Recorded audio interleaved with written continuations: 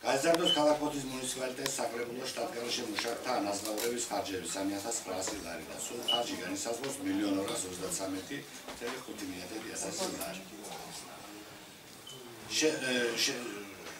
ამოღებული იქნეს ინფრასტრუქტურული შენობის პროექტირება 3500 ლარი. შემცირდეს კეთილმოწყობის ორგანიზების 3900 ლარი და განისაზღვროს 2 მილიონ 153.7 ლარი. შემცირდეს მალთაკვის სანაპირო ზონის მათ შორის მისასვლელი გზის რეაბილიტაცია თანადაფინანსება 1900 ლარი. შემცირდეს ბალკონიანი საფრთხის ზედოების კეთილმოწყობის თანადაფინანსება 2000 ლარი.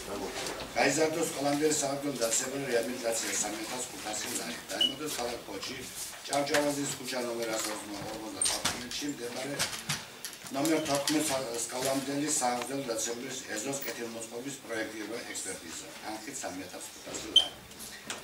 შემცირდეს საგზაო ინფრასტრუქტურის მშენებლობა, რეაბილიტაცია და მოვლა შენახვა, გზები, ხიდები 10000 ლარი.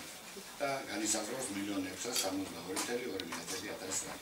მათ შორის შემცირდეს ბარათაშვილის ქუჩის ყოფილი ტერიტორიაზე გამავალი და მართაკის სანაპირო ზონის ბულვარის შემაერთებელი გზის მოწყობა, თანადაფინანსება 10000 ლარი. დაემოდგოს ქალაქ ოთის მუნიციპალიტეტის მერის არფინანსური აქტივების და 10000 ლარი.